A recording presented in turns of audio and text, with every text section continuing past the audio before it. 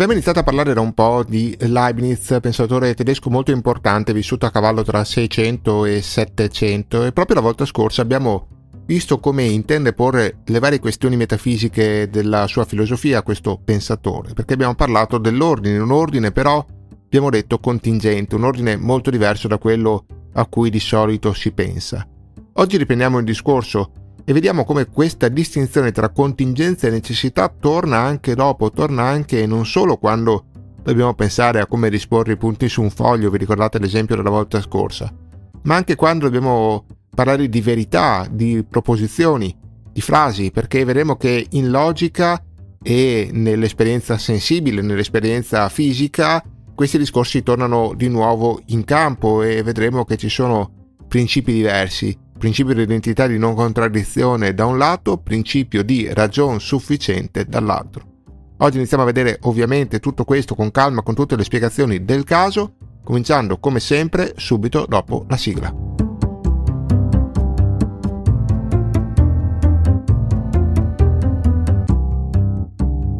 Dentro la filosofia, un podcast di Ermanno Scrip Ferretti, 256esima puntata le verità di ragione e le verità di fatto per Leibniz.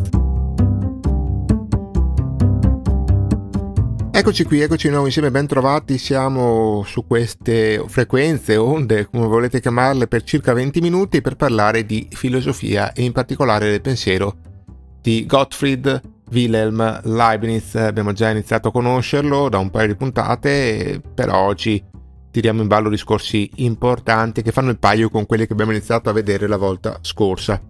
Se vi ricordate, giusto per riprendere un po' il filo, abbiamo discusso sull'ordine del mondo.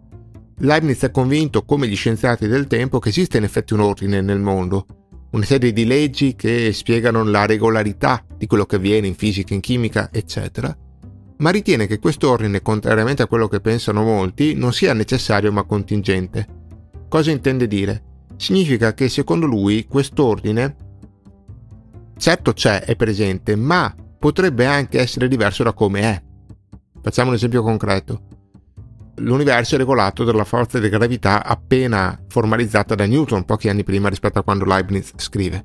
Bene, benissimo, esiste questa forza di gravità che si esprime tramite una formula F uguale G grande per M1 per M2 fratto D al quadrato. Bene. Ma un mondo in cui quella formula fosse stata diversa, magari diversa la costante o magari diverso, che so, il denominatore, eccetera, sarebbe stato un mondo diverso, ma non per questo meno ordinato di quello in cui viviamo. L'ordine si può presentare in molti modi, in fondo, no? Non c'è un solo modo perché il mondo sia ordinato. Ce ne sono tanti, tanti, innumerevoli potremmo anzi dire, no? Il mondo è contingente, fatto in un modo poteva benissimo essere fatto anche in un altro, ma ciò non toglie che sia in ordine. Di solito in filosofia si tendeva a legare la contingenza al caso e invece la necessità all'ordine, no? Più un ordine è appunto necessario, cioè avviene in un solo modo, più ordinato.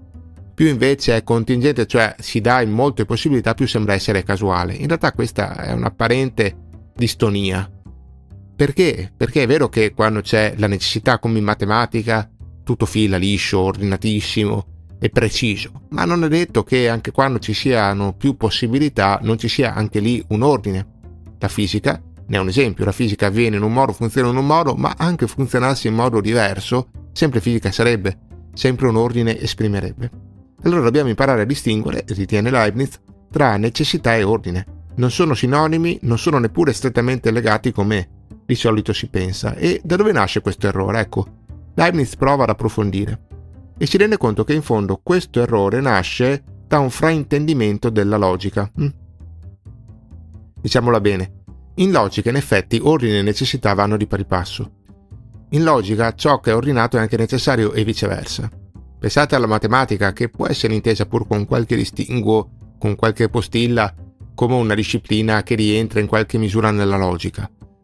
In matematica c'è un ordine, certo, ma c'è anche una necessità. 2 più 2 fa 4, non può fare una volta 5, una volta 12, una volta 1.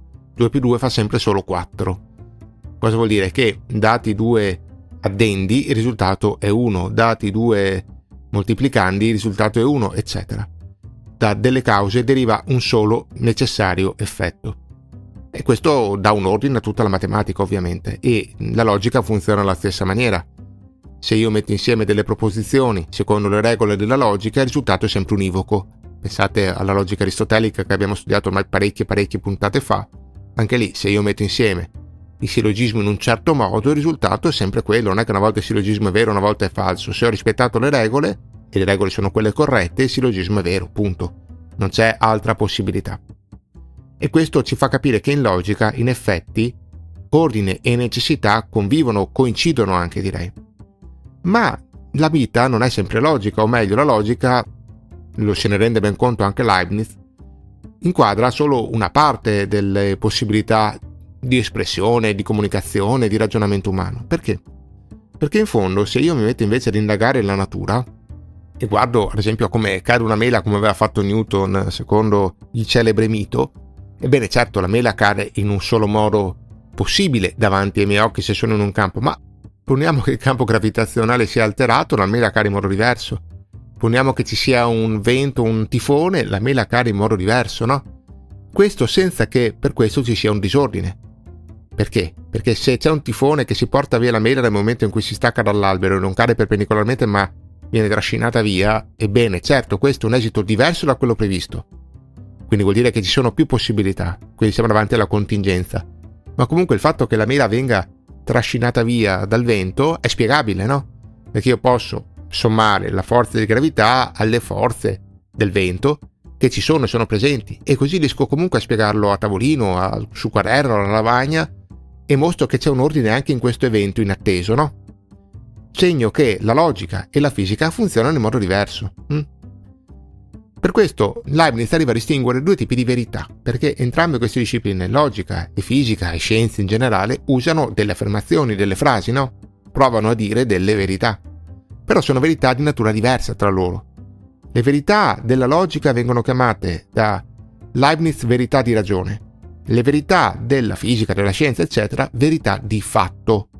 Vediamo che differenza c'è. Partiamo dalle verità di ragione. Queste verità, dice Leibniz, sono verità identiche. Cosa intende dire con questa espressione? Intende dire che sono verità che in fondo non fanno altro che esplicitare qualcosa che in verità è già sottinteso nel soggetto. Facciamo un esempio. Facciamo l'esempio il triangolo ha tre lati. Questa è una frase tipica della geometria della matematica, no? È una verità di ragione perché si basa sulla logica, non si basa sull'esperienza. E per dire che questa frase è vera, non devo andare a cercare triangoli in natura, anche perché non ne trovo più di tanto di triangoli in natura.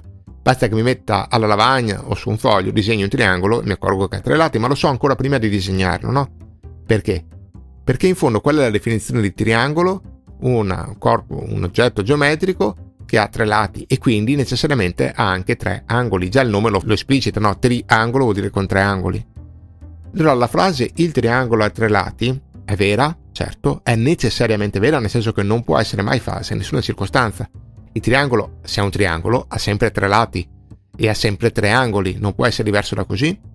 E però di fatto, se guardiamo bene, questa frase non mi dà informazioni nuove Meglio, mi esplicita solo informazioni che già tutto sommato erano sottintese nel soggetto. Una volta che io dico la parola triangolo, c'è già nella sua definizione il fatto di avere tre angoli e di avere tre lati. Mi seguite?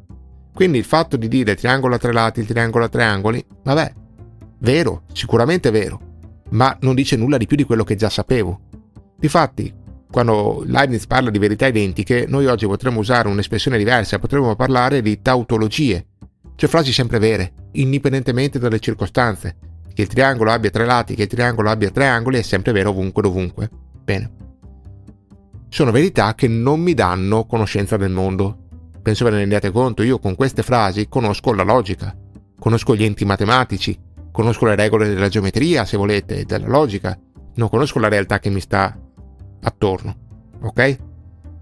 Quindi sono inutili? No, Leibniz dice no, attenzione, sono utilissime. La matematica si basa tutta su queste verità identiche in fondo, no?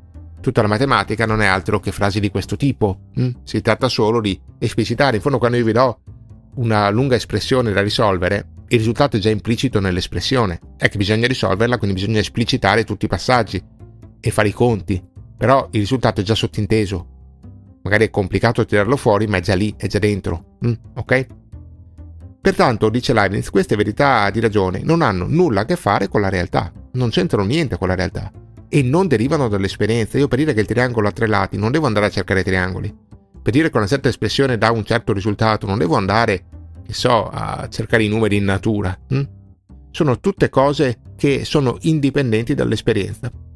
Pertanto, dice Leibniz, dove stanno questi enti matematici? Dove stanno queste regole, la logica, eccetera? Se non sta in natura, dove sta?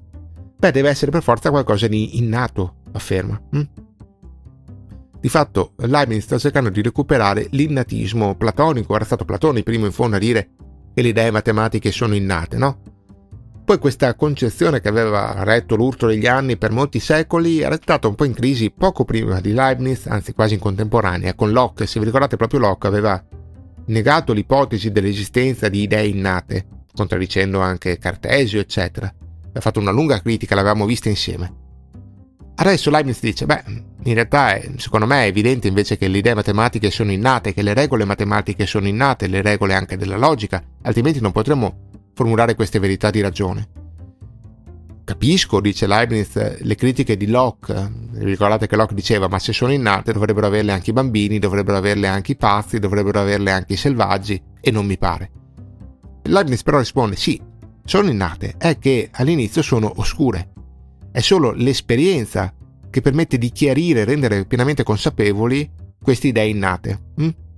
Quindi da bambini non capiamo bene come funziona la matematica perché ancora abbiamo la mente un po' annebbiata, come dire. Poi, con l'insegnamento, con l'esercizio, queste idee che erano già dentro di noi si chiariscono, diventano più chiare, più limpide, più facili da applicare, insomma riusciamo a far meglio.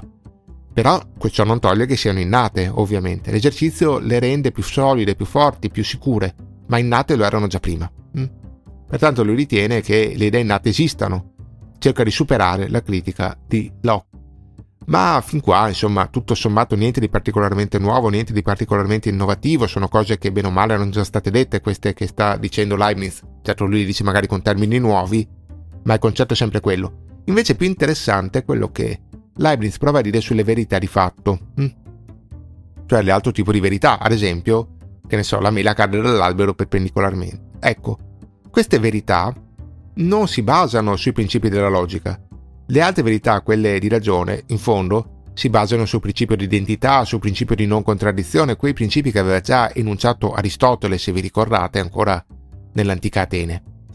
Le verità di fatto invece no, perché il fatto che la mela cara non è logico, o meglio, non è più logico del fatto che la mela voli via, l'uno o l'altra non hanno nulla a che fare con la logica in fondo. Queste verità di, fatto, di fatti non parlano di non contraddittorietà, ma di realtà. Cioè, in fondo, perché la mela che cade sarebbe logica e la mela che vola sarebbe contraddittoria? Non c'è contraddizione in realtà. Un fatto può essere sempre diverso da come avviene, se ci pensiamo un attimo. E qui Leibniz ci fa un esempio molto famoso. Dice, prendete questa frase che trovate in ogni libro di storia. Cesare ha attraversato il Rubicone. Come ben sapete, è l'episodio famoso in cui Cesare dice Ale iacta est, il dado è tratto, supera il Rubicone e marcia su Roma per la guerra civile, eccetera, prendere il potere. Ebbene, questa frase c'è in tutti i libri di storia, più o meno, magari formulata in maniera lievemente diversa, ma c'è. Cesare ha attraversato il Rubicone. Ora, questa frase è logica? In realtà non ha molto a che fare con la logica, dice Leibniz. Perché? Perché il triangolo a tre lati è una frase logica. In che senso è logica? Nel senso che io non posso dire il contrario. Non posso dire il triangolo ha quattro lati, a cinque lati, a sei lati, perché sarebbe una contraddizione. Il triangolo ha tre lati per forza, se no non sarebbe un triangolo. Se ha quattro lati è un'altra figura, è un rettangolo, è un quadrato, non è più un triangolo. Mi seguite? Ma se io invece dico Cesare non ha attraversato il Rubicone, questa frase diventa illogica? La risposta che dà Leibniz è no. Cioè, sai quante persone non hanno mai attraversato il Rubicone? Cesare sappiamo che storicamente l'ha fatto, perché nel passato è avvenuto che Cesare abbia effettivamente attraversato il Rubicone. Ma se non l'avesse fatto, il mondo sarebbe stato illogico? Completamente contraddittorio? Beh, in realtà no, sarebbe andato avanti in maniera diversa, sarebbero avvenuti fatti diversi sicuramente, però non sarebbero stati più o meno logici di quelli che sono avvenuti comunque, no? Il contrario nel mondo è sempre possibile. Io adesso sto registrando questo podcast, potevo farne meno, mettermi sul divano a sonnecchiare, ma sì che potevo. Sarebbe stato un mondo illogico quello in cui io mi mettevo sul divano, un mondo contraddittorio? Ma no, cosa volete che cambiasse? Non cambiava niente. Magari sarei stato un po' più pigro io, ma la pigrizia non è una contraddizione, no? Come fare o non fare una cosa non è contraddittorio di per sé. I fatti non sono soggetti alle leggi della logica. I fatti avvengono o possono anche non avvenire. Nel mondo tanti fatti avvengono che potevano non avvenire. E a ogni fatto si presenta in più possibilità. Per cui ognuno di noi davanti alle varie possibilità fa delle scelte che realizzano una eventualità e non realizzano le altre, ma non per questo le altre, quelle scartate, quelle non realizzate, erano meno logiche. La logica non ha nulla a che vedere con i fatti. Allora, traiamo qualche conclusione di questo discorso perché è bene che sia ben chiaro in testa e vediamo le differenze tra questi due tipi di verità, le verità di ragione e le verità di fatto. Da un lato abbiamo appunto le verità di ragione, sono verità logiche, potremmo anche dirla così per far prima. Riguardano il mondo della logica, ma non riguardano la realtà dei fatti, non riguardano il mondo. È come se stessero in un altro piano di realtà, in un altro universo, no? Quello della logica. Platone direbbe quello delle idee. Qui queste verità si basano sul principio di identità e sul principio di non contraddizione. Cosa vuol dire? Che di queste verità non è possibile pensare il contrario. Esempio famosissimo, il triangolo ha tre lati. Possibile pensare a una frase che dica il contrario di questa frase qua, ad esempio che il triangolo ha cinque lati? No, che non è possibile. O meglio, possiamo farlo, ma cadiamo in contraddizione. Ok? Quindi il contrario di una verità di ragione è contraddittorio. Questo implica che queste verità di ragione siano sempre vere. Mm?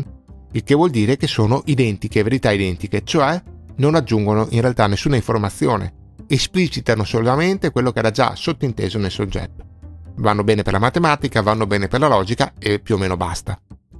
Dall'altro lato ci sono le verità di fatto. Queste verità sono frasi che affermano qualcosa di vero, ma qualcosa di vero del mondo, della realtà, di ciò che ci circonda. Esempio, Cesare ha passato il Rubicone.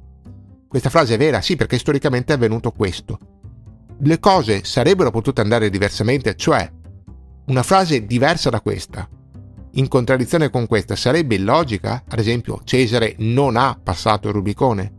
No che non sarebbe illogica, sarebbe magari falsa perché nei fatti è avvenuto il contrario, ma non illogica.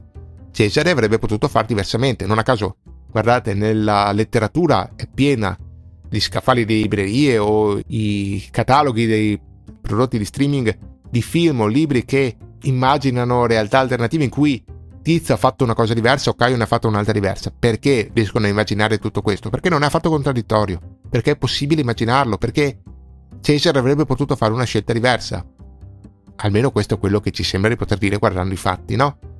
Questo cosa implica? Che queste verità di fatto non sono verità identiche, come le altre, non ci dicono cose che già in fondo sapevamo, ci dicono cose che non sapevamo, perché in questo caso il predicato aggiunge delle informazioni. Se io non conosco Cesare e apro un libro di storia, sapere che Cesare ha passato Rubicone mi dà un'informazione che prima non avevo e non potevo avere, non potevo immaginare, sapendo il nome Cesare se questo aveva fatto o non fatto le cose che poi ha realmente fatto. Hm? Forse non lo sapeva neppure Cesare prima di farlo, quindi mi dà informazioni nuove, Poteva andare diversamente, certo, e quando io so com'è andata, imparo qualcosa che non sapevo proprio perché c'erano tante possibilità. Nel caso della logica c'è un'unica possibilità e quindi vederlo scritto o no cambia poco. Ma allora, se le verità di ragione si basano sul principio di identità e di non contraddizione, su cosa si basano le verità di fatto, quelle che possono anche essere negate? Quelle che possono andare anche in modo diverso? Beh, Leibniz dice si basano sul principio di ragione sufficiente. Cosa vuol dire il principio di ragione sufficiente? Vuol dire che, dato un fatto, io posso trovare la ragione che spiega come mai è venuto quel fatto e non tutte le altre possibilità. Esempio, Cesare è passato il Rubicone? Bene, io posso, studiando la storia, studiando la figura di Cesare, studiando quello che è avvenuto, trovare la ragione per cui Cesare l'ha fatto, la ragione sufficiente, quella ragione che serve a spiegare come mai Cesare ha fatto quella scelta hm? e non ha fatto le altre scelte che erano comunque possibili, ma che poi lui alla fine non ha fatto. Ok? Cosa vuol dire? Che il contrario è sempre possibile, che questo principio di ragione sufficiente non è un principio forte come quello di identità e di non contraddizione, sembra, almeno per ora, più debole.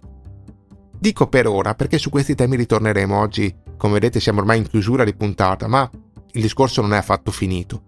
Mi premeva intanto distinguervi queste due verità perché sono diverse, si comportano in modo diverso, eccetera. Ma vedremo che le cose sono più complicate di come sembrano a prima vista. Tanto capiamo la cosa semplice e poi vediamo come Leibniz, la prossima volta, tornerà su questi temi, creandoci ulteriori problemi da capire, ma in realtà stimolando ulteriormente la nostra riflessione.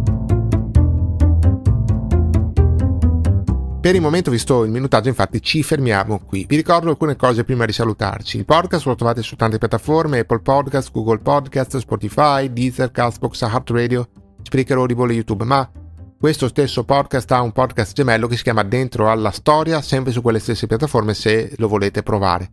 Poi vi ricordo che se cercate anche spiegazioni di epoche diverse c'è un canale YouTube molto fornito, ci sono più di 1500 video al momento in cui registro, lo trovate appunto su YouTube cercandomi come Ermanno Ferretti oppure come Script. Poi vi ricordo anche che se volete rimanere in contatto, non perdervi le puntate, le iniziative, tante cose che facciamo settimana dopo settimana, potete seguirmi se volete sui social network, cioè su Facebook, su Twitter oppure su Instagram, lì mi trovate sempre col nickname di Script, oppure potete se volete abbonarvi alla newsletter gratuita e settimanale, è una mail molto corposa che mando una volta a settimana, dove parlo di libri, di film sempre legati alla storia e alla filosofia di attualità, di varie cose, insomma, e poi anche dei video di podcast che ho fatto, così potete rimanere sempre aggiornati. È gratis, basta andare all'indirizzo internet ermannoferretti.it e lì si può lasciare la propria email. Ultimissima cosa, vi ricordo che era poco uscito il mio ultimo libro, si intitola Anche Socrate qualche dubbio ce l'aveva, un libro di filosofia di livello abbastanza divulgativo per chiunque anche non abbia specifica formazione filosofica ma sia appassionato della disciplina ed è un libro che cerca di riprendere alcune riflessioni di filosofi, soprattutto scettici, più o meno scettici, come Socrate, come Hume, come Montaigne, come Popper, come altri ancora, e declinarli nel nostro tempo. Il nostro tempo è un tempo particolare, bisogna imparare a capirlo, ecco, penso che alcuni filosofi abbiano qualcosa da insegnarci e provo a dirvi perché. Questo libro lo trovate in libreria, in sia fisica che digitale, in formato cartaceo e digitale, Ripeto il titolo, anche Socrate qualche dubbio ce l'aveva, Cairo, editore autore ovviamente Ermanno Ferretti. Basta, ho detto tutto, ci eh, sentiamo presto per parlare ancora di Leibniz, il percorso è lungo, abbiamo appena cominciato e poi per tante altre lezioni di filosofia. Ciao, alla prossima!